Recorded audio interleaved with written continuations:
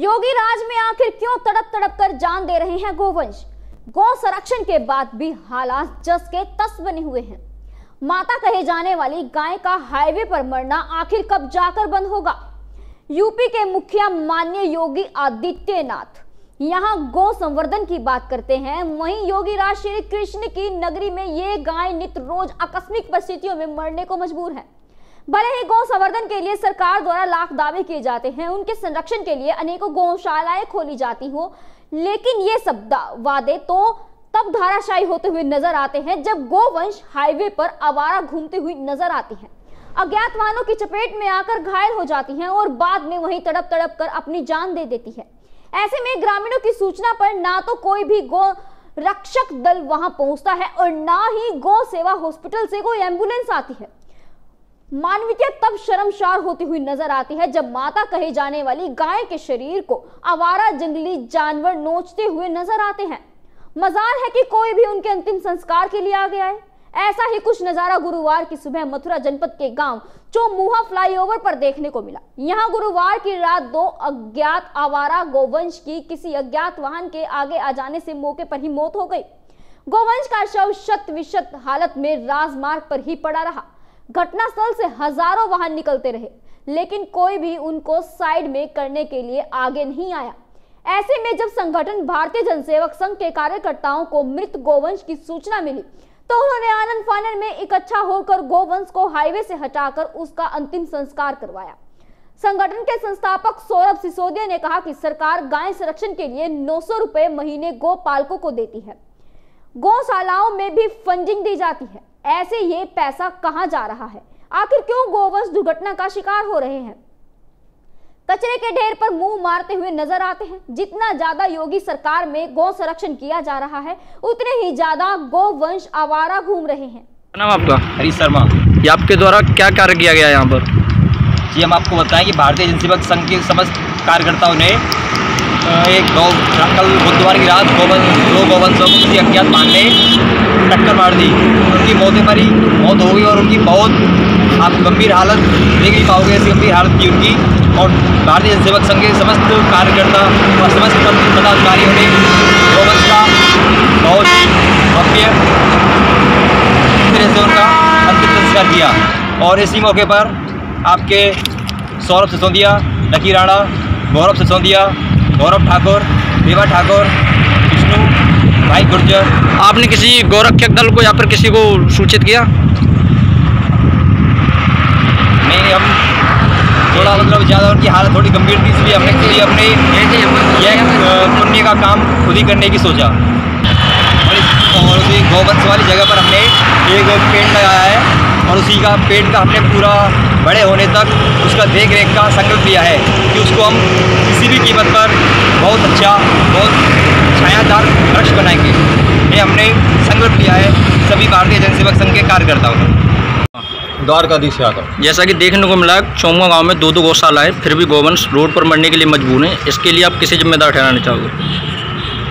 इसके लिए सबसे पहले तो मैं हर भारतीय को, हर हिंदू को जिम्मेदार ठहरा रहा हूँ। जो आज हमारी गौ माता है, जो सवा से करोड़ हिंदुओं की आस्था से जुड़ा, जुड़ी हुई है, उसकी आज इतनी बेरहमी हो रही है। सड़क पर गैया कट रही हैं, उनको खाने के लिए चारा नहीं है। गौशाला संचालक गौशाला के नाम पर धान लेते हैं, अपने घरों में पैसा लगाते हैं, गौ के चारे को खा जाते हैं। दो दो गौशाला हैं यहाँ चौमुआ में। एक उत्तर प्रदेश सरकार की है, एक प्राइवेट गौशाला है। उत्तर प्रदेश सरकार की गौशाला में मात्र तीस रुपये का एक गौ गाय के हिसाब से चारा आ रहा है। तीस रुपये तो बिल्कुल नाकाम ही। है बिल्कुल कोई खर्चा नहीं उठा सकता है तीस रुपये में। एक गैया का खर्चा तीन सौ रुपये कम से कम होना चाहिए। जो प्राइवेट गौशाला है वो कब से खुली हुई है? क्या स्थिति है उसकी? प्राइवेट गौशाला सन नब्बे से खुली है। रघुवीर दास बाबा ने खुलवाई थी। उसकी स्थिति अच्छी थी। देख रेख चल रही थी। बाबा गुजर गए जब से कोई देख रेख करने वाला सही व्यवस्था नहीं बन रही है। अब क्या स्थिति बनी हुई है वहाँ पर? कितनी गाय होंगी उसमें? अब गाय पचास साठ गाय हैं वहाँ पे। पहले कितनी गाय हुआ करती थी उसमें? पहले उसमें डेढ़ से दो से गाय हुआ करती थी। अब संचालन ठीक नहीं चल रहा गौशाला? संचालन बिल्कुल ठीक नहीं है। ये सर, बताइए, योगी मोदी सरकार ये तमाम भरपूर कोशिश कर रही है गायों की मतलब दुर्गति हो रही है, इसको लेके आप क्या कहेंगे? ना उनकी खाने की व्यवस्था है, ना उनकी मतलब ये इलाज की व्यवस्था है, कहीं गाय मर जाती है तो एक एक हफ़्ते तक ये पड़ी रहती हैं, वो दुर्गति हो रही है, इसके पीछे आप किसकी कमियाँ मानते हैं? ये अपने देश में पहली बार सौभाग्य की बात है कि एक ऐसा प्रधानमंत्री आया जो नवरात्रि में केवल शिकंजी पीकर व्रत रखता है। अपने प्रदेश में ऐसा मुख्यमंत्री काबिज है जो योगी है, जो एक गोरक्ष पीठ के गोरक्ष पीठ ये भी देना देखना पड़ेगा। गोरखनाथ जी से ही केवल नाम जुड़ा हुआ नहीं है, गोरक्षनाथ है। जब तक गाय की रक्षा करने की वो जो पीठ है, वो गोरखपुर में है और उसके महंत ही आज हमारे मुख्यमंत्री हैं और उसके बाद भी अपने प्रदेश में अगर गाय ही सुरक्षित नहीं है, गाय की रक्षा नहीं होगी तो कैसी गोरक्ष पीठ रह जाएगी? ये तो हमारे मुख्यमंत्री जी के नाम को खराब करने के लिए मैं कहूँगा षड्यंत्र किया जा रहा है। जो दूषित मानसिकता के पदाधिकारी, अधिकारी अभी तक काबिज है, जो मशीनरी काबिज है, वो इस प्रकल्प को लागू नहीं होने देना चाह रही है। जो कम्युनिस्ट विचारधारा के लोग बैठे हुए हैं, जिन्हें गाय जिन्होंने गाय को पशु मानने में कोई गुरेज नहीं है, जो देवी देवताओं का उसमें निवास नहीं मानते, उसको ढकोसला मानते हैं, पुरातन पंथी मानते हैं, ऐसे लोग चाहते हैं कि ये प्रकल्प किसी तरह से सफल नहीं हो जाए और इसलिए जब तक कड़ाई से इसको लागू नहीं किया जाएगा और ऐसे अधिकारियों पर जिस ज़िले में, जिस गौशाला में ऐसा कोई अत्याचार गौवंश पर पाया जाए, गाय भूखी हो या गाय मर जाए या गाय बीमार हो जाए, अगर ऐसे अधिकारियों पर, जिम्मेदार अधिकारियों पर अगर कठोर से कठोर कार्रवाई, मैं तो यहाँ तक कहूँगा कि नौकरी से बर्खास्त करना नहीं, जेल भी होनी चाहिए, आवश्यक है। अगर ऐसा नहीं होगा, तब तक ये सुधार लागू होना संभव नहीं है केवल मोदी जी और योगी जी के करने से नहीं होगा। अधिकारियों को नीचे के अधिकारियों को भी समझना पड़ेगा कि बिना गाय के अपने देश का कोई भविष्य नहीं है। जी महाराज जी ये बताइए ये गऊ की ये दुर्गति हो रही है तमाम गाय इधर उधर मतलब ये सड़ी गली हुई मरी हुई पड़ी रहती है उनके लिए कोई इलाज की भी व्यवस्था नहीं है एक एंबुलेंस भी नहीं है इसको लेकर आप किसकी लापरवाही मानते हैं? क्या कहना चाहेंगे? ये बिल्कुल प्रशासन की लापरवाही है और मैं आपके समय बता देता हूँ कि मथुरा में तो कोई भी अधिकारी नहीं सुन रहा है। मथुरा की स्थिति तो मैं समय जब देख रहा हूँ कि बिल्कुल ऐसे बैठ गए हैं और उनके पास जाते हैं हाँ महाराज जी, आपका काम हो जाएगा, ये हो जाएगा, वो हो जाएगा कोई काम नहीं हो रहा है। गाय आज भी सड़कों पर पड़ी हुई है। गाय आज भी आवारा घूम रही है। गाय के लिए आज भी खाने के लिए नहीं है। कोई मुझे गौशाला ऐसी बताई जाए जिसमें गाय को पकड़ के वहाँ पर ले जाया जाए।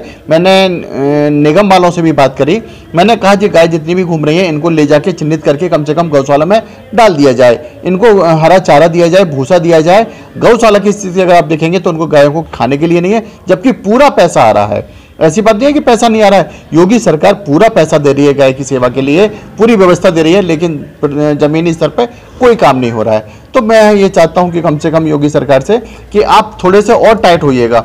गाय की जो दुर्दशा हो रही है, सबसे ज़्यादा दुर्दशा हो रही है इस समय किसानों की। अभी किसी मैंने मथुरा के ज़िले में काफ़ी किसानों से मेरी बातचीत हुई।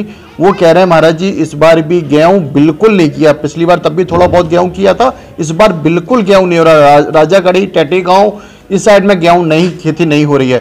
बोले गाय को छोड़ दिया गया है। गाय पूरा खेती नुकसान कर देती है। तो मैं ये चाहता हूँ कि इन गाय को ले जाके कम से कम गौशाला में इनको रखा जाए और फिर इनकी सेवा की जाए। जितना पैसा आ रहा है गौशाला के लिए, वो कहाँ जा रहा है? कौन देखने वाला है? कौन सुनने वाला है? खाली कागजों पे काम हो रहा है, जमीनी स्तर पर कोई काम नहीं हो रहा है। JBD Banquets लाए हैं Incredible Marriage Palace Rajgharana and the finest banquet hall Jyoti Garden. World class catering, centrally air conditioned, lush green lawns, state of the art lighting. A perfect venue for wedding, launching and parties. Rajgharana and Jyoti Garden at JBD Banquets Enterprise.